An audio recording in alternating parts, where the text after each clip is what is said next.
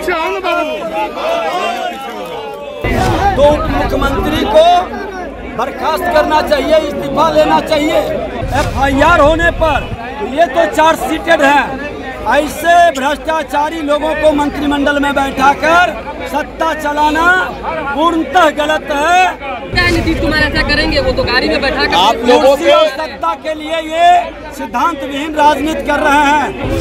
सदन के अंदर और सदन के बाहर हम लोग विवश करेंगे वो ऐसे लोगों को बर्खास्त करें। देखिए तेजस्वी यादव पर चार्ज सीट हुआ है और चार्ज सीटेड उप मुख्यमंत्री को हर हाल में रिजाइन करना चाहिए। नीतीश कुमार जी खुद ही परंपरा बना के रखे हुए हैं कि जिसके चार्ज सीट चार्ज सीट होगा उसको रिजाइन कराएँगे।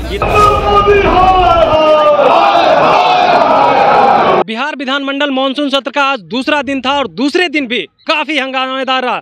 शुरू होने से पहले ही पोटिको में आकर तमाम जो महागठबंधन के विधायक थे, वो केंद्र सरकार के खिलाफ नारेबाजी कर रहे थे। वहीं दूसरी तरफ़ बीजेपी तेजस्वी यादव पे जो चार्जशीट हुई है, उसको लेकर के हंगामा कर रही थी और इस्तीफे की मांग कर रही थी। सबसे पहले वो तस्वीर देखिए किस तरह से हंगामा कर रहे हैं। दोनों एक ही साथ पोटिको में आ जाते हैं और हो हंगामा शुरू हो जाता है।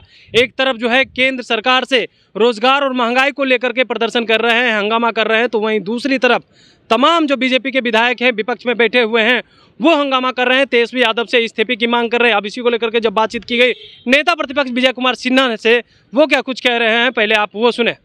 है तो उप मुख्यमंत्री को बर्खास्त करना चाहिए इस्तीफा लेना चाहिए। आप भ्रष्टाचार पर ज़ीरो टॉलरेंस की बात करते हैं सुन सत्र में ये भी तो भ्रष्टाचारी बिहार की जनता की गाड़ी कमाई लूटने वाला सत्ता और सरकार में बैठेगा विकास ठप है अपराधियों का मनोबल चरम पर है कैसे हम सरकार को उप मुख्यमंत्री के बर्खास्तगी के बिना बात निश्चित तौर पर इनको इस्तीफा लेना चाहिए या बर्खास्त करना चाहिए। देखिए सुप्रीम सुप्रीम कोर्ट का भी आदेश है। नीचे और चार्जशीटेड मंत्रिमंडल में नहीं रह सकता है और परंपरा भी रही है। जब पूर्व मुख्यमंत्री जीतन राम मांझी माननीय आर एन सिंह माननीय रमाधार सिंह, माननीय मंजू वर्मा, माननीय मेवालाल चौधरी और कार्तिक सिंह को जब मुख्यमंत्री ने हटाया एफआईआर होने पर तो ये तो चार्ज सीटेड है। ऐसे भ्रष्टाचारी लोगों को मंत्रिमंडल में बैठाकर सत्ता चलाना पूर्णतः गलत है। ये लोगों के साथ विश्वासघात है इसको कतई स्वीकार नहीं किया जाएगा लगता है नीतीश कुमार ऐसा करेंगे वो तो गाड़ी में बैठा कर आप लोगों के सत्ता के लिए ये सिद्धांत विहीन राजनीति कर रहे हैं। सदन के अंदर और सदन के बाहर हम लोग विवश करेंगे वो इससे लोगों को बर्खास्त करें नीतीश नीतीश जी कह रहे हैं कि विधायक आपके टच में है आप लोग विधायकों को तोड़ने की कोशिश कर रहे हैं जेडीयू आरजेडी की। जो खुद जिनकी नैतिकता समाप्त हो जाती है, जो ये कर्म करते हैं, वो डरे रहते हैं।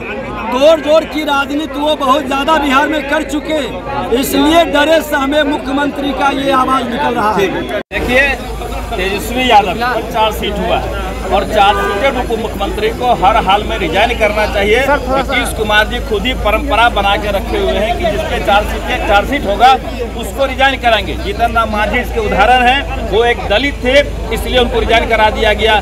मेवालाल चौधरी है और ऐसे कई सदस्य हैं जिनको उन्होंने रिजाइन करवाया। आज इनको क्या हो गया? साफ़ सुन गया है। आज डिप्टी सीएम चार सीटेड है और गाड़ी में लेके घूमते हैं बगल में बिठा रहे हैं सरकार चला रहे हैं।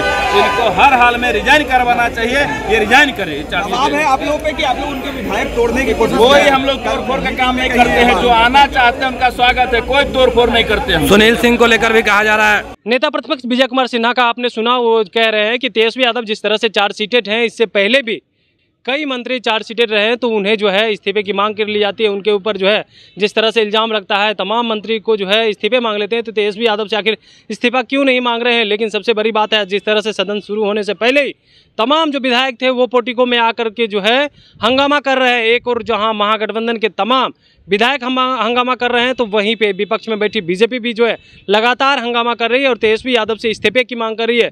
कह रही तेजस्वी यादव को हर हाल में इस्तीफा देना होगा, नहीं देंगे तो हम लोग इसी तरह हंगामा करते रहेंगे और सदन के अंदर भी आवाज़ उठाएँगे और जो विधानसभा अध्यक्ष है, उनसे कहेंगे कि जिस तरह से तेजस्वी यादव के ऊपर चार्जशीट की गई है तो उन्हें इस्तीफा दे देना चाहिए।